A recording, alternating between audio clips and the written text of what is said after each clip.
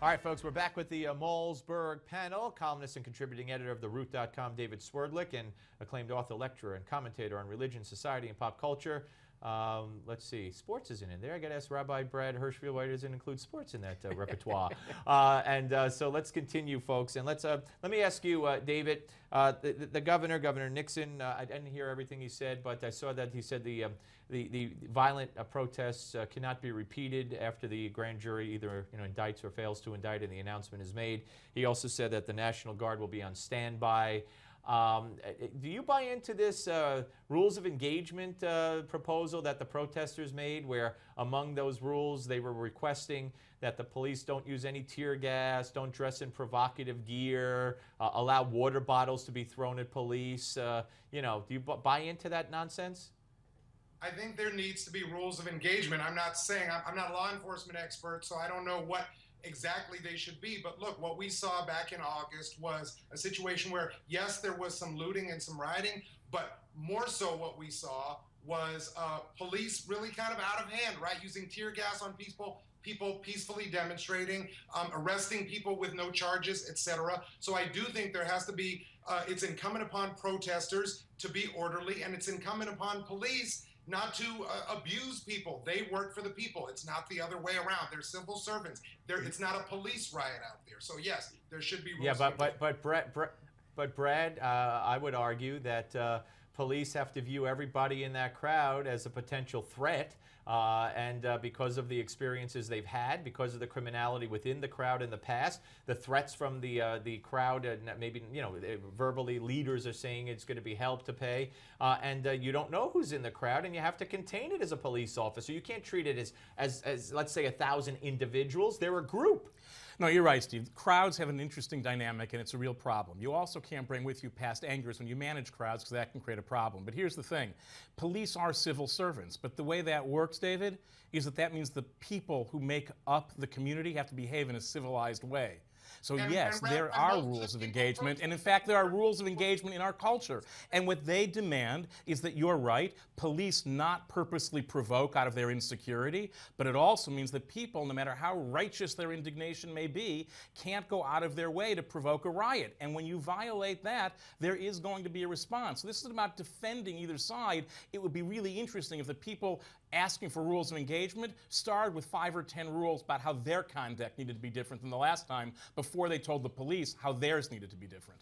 The, the overwhelming majority of people who have been protesting throughout this issue in Ferguson have been peaceful. No one, including me, condones rioting, looting, burning down a gas station. If those people are found, they should be prosecuted. Everybody else is exercising their First Amendment right to protest, speak, assemble, etc. The police work for the taxpayers, not the other way around. And so, but David, David, if, David, if out of a crowd, David, if out of a if out of a crowd of peaceful protesters comes seven bottles out of a thousand people, uh, or or, or a Molotov cocktail, one Molotov cocktail, what do you think the police are going to do? Walk through the crowd looking for the person who did it?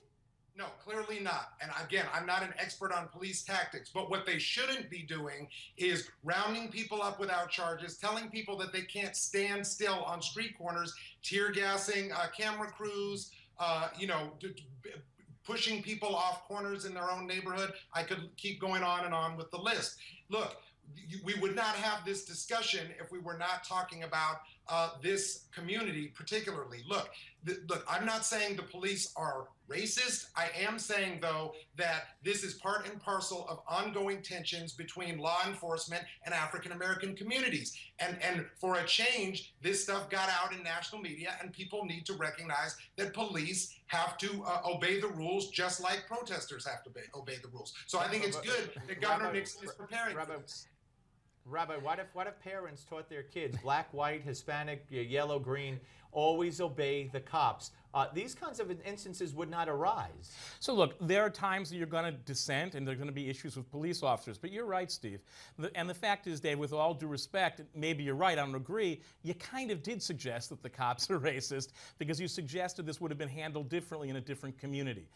If that's what people believe, then let's say that. But I think you're ten, right. Ten Steve. seconds, David. Go ahead. With all due respect, Rabbi, I have been pulled over and charged with something that I didn't do. With all due respect, as a college student on my college campus, I was hit with a billy club in a peaceful protest. So I don't want to hear any talk about, oh, I'm just calling people racist out of thin air. All right, David, David Swerdlick and Rabbi Hirschfield, we will continue. Uh, you got the last word, Dave. Thank you. Uh, folks, we'll be back.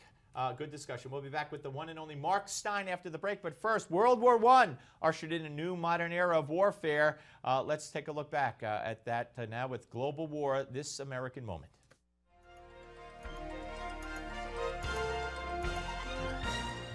It was called the War to End All Wars, but instead it only served as a prelude of worse things to come. It was the world's first universal war, with the nations of the United States, United Kingdom, France, Greece, Italy, Russia, and 19 other countries declaring war on Austria Hungary, Bulgaria, Germany, the Ottoman Empire, and the other European based nations. As the wars before it, and those after it, this war would prove to be a long, bloody, and costly conflict. For the first time, chemical weapons were used in organized warfare. In 1915, the Germans unleashed 150 tons of chlorine gas at Ypres, Belgium. Then, two years later, used mustard gas against the Russians at Riga. World War I also gave birth to a new form of battle called trench warfare. Opposing armies would build elaborate trenches opposite one another, protected by barbed wire. The trenches themselves became havens for disease and life threatening infections due to poor drainage and sanitation. The area between the opposing armies became known as no man's land because it was fully exposed to artillery and small arms fire from both armies. Attacks, even if successful, often sustained severe casualties for both sides. So it finally came to an end, on the 11th hour of the 11th day of the 11th month in 1918. Soldiers from both sides greeted the news with great skepticism. Neither side dared to let themselves believe their long nightmare had finally come to an end, leaving an estimated 8.5 million people dead and some 21 million wounded. The actual peace document, known as the Treaty of Versailles, was not signed until six months later on the 28th of June, 1919. Although the face of the civilized world had forever changed, 21 short years later, history would again repeat itself. For Newsmax TV, I'm Bill Curtis, and this is an American Moment.